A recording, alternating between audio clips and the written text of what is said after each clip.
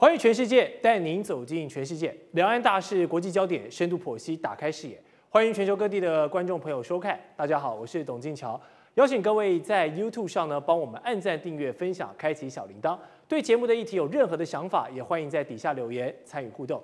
马上介绍这集的三位来宾，第一位是前国安会副秘书长杨永明，主持人好，大家好。第二位文化大学新闻系教授庄伯仲，大家好。还有退役陆军少将厉正杰。哎，主持人好，各位观众大家好。好，欢迎三位加入我们今天的讨论。那今天节目的第一个话题哦，持续聚焦在俄乌战争。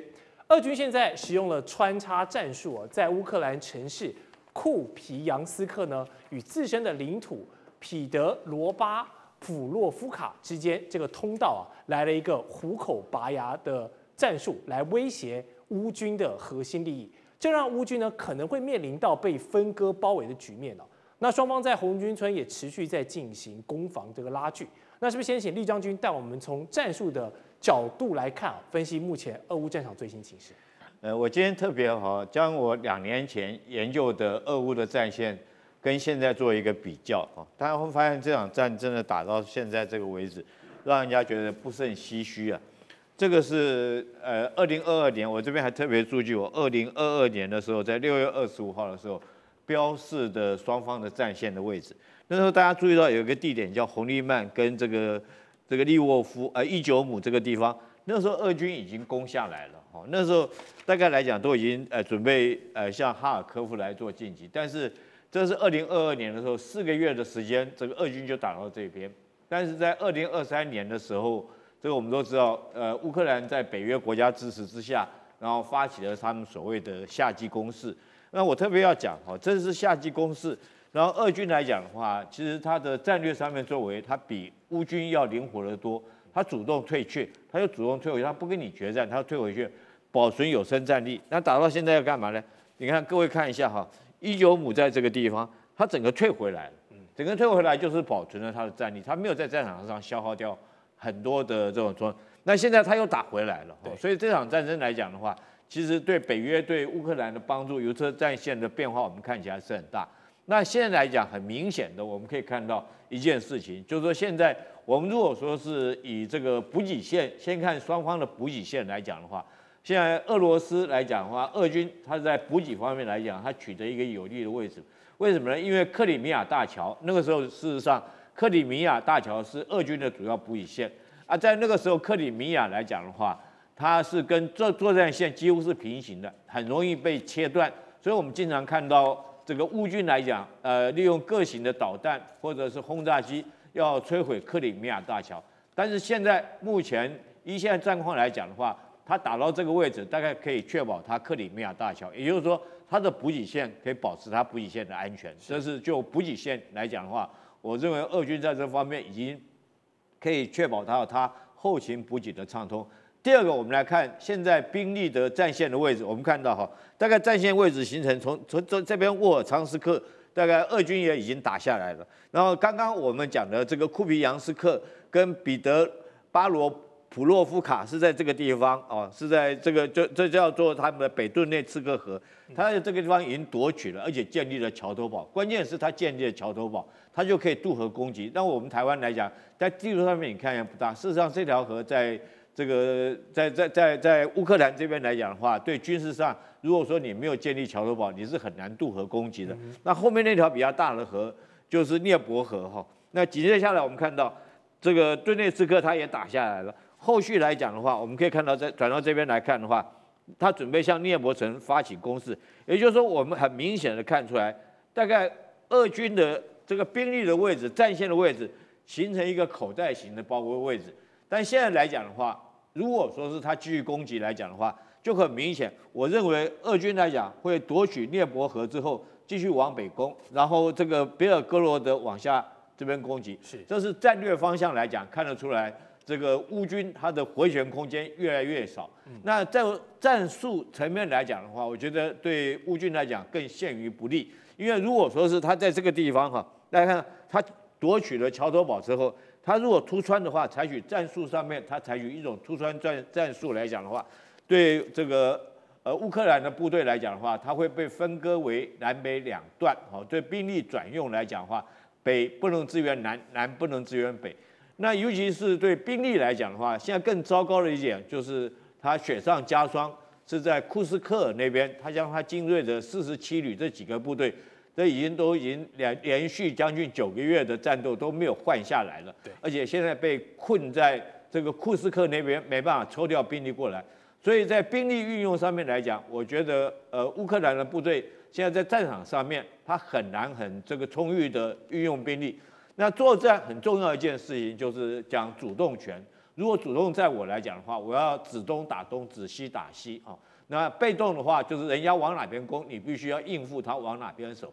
现在很明显的，如果说从这个双方来讲，现在战略的位置以及战术相关的动作来看的话，很明显，俄军在这方面掌握了完全的主动权，这是第一个。那第二个来讲的话，在空优方面来讲，我们这时候没看到乌克兰虽然支援北约支援它几架 F 十六战机，可是我们从最近的报道没有看到在制空权方面它能够夺取的回来，所以就战场的主动优势也不在它，这个制空权的优势也不在乌克兰，所以很明显的，我们认为现在如果说是就这个纯粹就军事角度，我个人的评论来讲的话，乌军来讲现在是战战况是极为不利的一个状况。由于是，所以天后来讲，又马上面临了冬天。那这段时间在俄乌战场上，刚好是所谓的翻江期，也就是双方大型的装装甲部队来讲，暂时是动不了。所以我们看到战线这时候有点迟钝下来。可是你要知道，等到冬天这个大地结冰之后，这个时候又是机甲部队可以动作的时候。到那时候，我相信说是明年一月份，好，那不管美国总统选举怎么样。可能一月份啊，今年的冬天可能乌克兰会很难过得去了。那一月份来讲，如果说是过了翻江期，那大地又结冰，适合大军钢铁洪流部队运动来讲的话，对乌克兰，我觉得是呃状况来讲是非常的不利的。好，我们谢谢将军全面的分析哦。都知道旷日持久的战争离不开两样东西，就是武器跟人力。那乌克兰缺男丁的窘境，大家都很清楚，但是俄罗斯也缺吗？现在南韩的情报机构就指出，大概有三千名的北韩士兵正在俄罗斯受训哦，他们极有可能被派去乌克兰的前线去打仗。那南韩总统尹锡悦说，北韩派士兵帮助俄罗斯打乌克兰的行为，他们不会坐视不管。但是以南韩的立场，他们又能够做些什么呢？杨老师你怎么看呢？近期这个关系紧张的朝鲜半岛，那南北韩对于俄乌战争的动作，还有根据中朝友好合作互助条约，中国有没有可能也被卷入到战端？带来更大的地缘政治风险。那是因为今年的六月十九号，俄罗斯的普京呃隔了二十四年再一次的访问平壤，对，然后呢就和北韩签署了就是朝呃俄的共同合作呃战略伙伴关系。嗯，那这里面是有一个条文，当一方受到攻击侵略时，另外一国呢呃英语协助。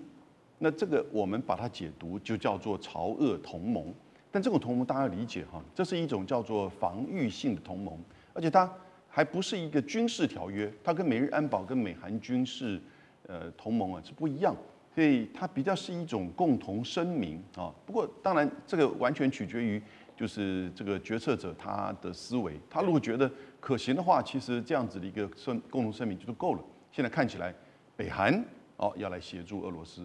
那个时候六月份通过的这个时候哈，我们大家在想啊，东北亚会不会变得这个紧张的？俄罗斯会来帮助北韩，然后北韩会不会去挑衅日本、韩国？结果北韩是有，可是呢，不是俄罗斯来帮助，其实俄罗斯已经帮助北韩在就是弹道飞弹的这个技术层面，过去几年是增加很多。那个时候我们就已经知道，北韩在弹药上跟军需用品上哈，其实已经。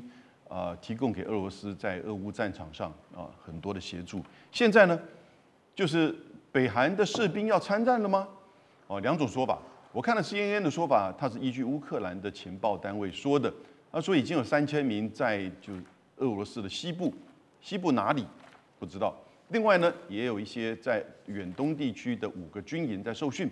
韩国的国家情报局呢就说，其实大概有三千名正在受训。另外。可能在年底以前呢，会有一万呃名的韩北韩士兵呢参与到这个过程当中，所以我个人觉得现在可能在呃俄罗斯西部呢，大概已经有北韩的士兵。不过大家了解，我们刚刚提到它是防御型的这种军事同盟哈，所以它不会进入到乌克兰境内。你进入到乌克兰境内，你就是攻击型。这种攻击型，其实在一次大战之前的时候存在。那个时候，奥匈帝国跟德意志帝国就是攻击型，而且它还是秘密外交，所以大家都不知道，原来两国签了一个军事同盟。当一国开始这个对外用兵，另外一国必须要在一个月之内完成动员啊参战。所以呢，二一次大战结束之后，就把这种攻击性军事同盟给废掉，同时呢，废除掉秘密外交，所以所有的条约都要到国际联盟或联合国里面去登记。所以我个人觉得，北韩的士兵啊，他最多是会在俄罗斯西部、俄罗斯境内进行所谓的驻防啊，袭或者是防御补给的这些任务。那会不会最多可能会参与到库斯克的这个里面去？不，库斯克的兵力不只要一万二了哈。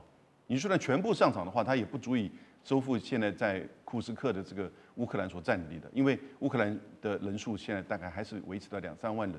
所以我是觉得大家可能会把呃这个北韩参战的这个事情哦，目前是闹得很大，因为它过去没有发生过。是。可是呢，你看。如果说我们依据所谓的中朝友好合作互助条约，中国会不会可能卷入战争？这个第一点哦，那个中朝友好合作互助条约一九六一年签到现在，其实根本没有真正的实施过。嗯中朝中这个中国跟北韩之间根本没有任何有军事上的这种合作或者是演习，这个像是同盟国一般的这种演习。那因此呢，呃，而且一度曾经还说这个条约还是不存在。那两年前的中国大陆说啊，当然还在，当然还在，所以我们媒体在炒作可能会因此减弱，我觉得反而应该是不会，几率不大，反而中国大陆会对于北韩的这个态度和保予予以保留，因为到目前为止他没有任何的评论，他目前还是说希望俄乌战争的形势能够由政治的呃处理，然后呢维持各方的稳定。嗯嗯，了解。